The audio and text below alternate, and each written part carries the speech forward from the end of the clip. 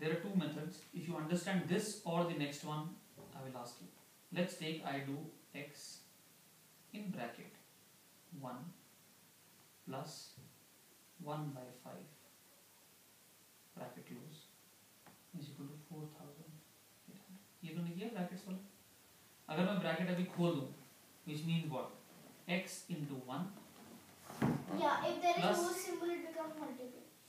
x into 1 this is also equal to the same thing x into 1 plus 1 by 5 अगर जब मैं bracket खोलूँगा which will become this x plus 1 by 5x since x is common it is multiplied by both these आया तेरे को समझ ये वाला नहीं आया हमको ये। तो पूरे ब्रैकेट्स वगैरह तो इसको छोड़ दे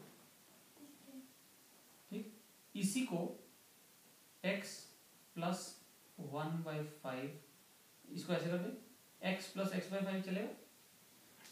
मतलब x x तो है ही हाँ। Plus x by five x into one is x only x is x only. So x by five ठीक है? हम्म। ठीक? इसका हमने एलसीएम निकाला। इधर कुछ नहीं है। आपने एलसीएम कैसे निकाला? बना के x बाई वन है। ये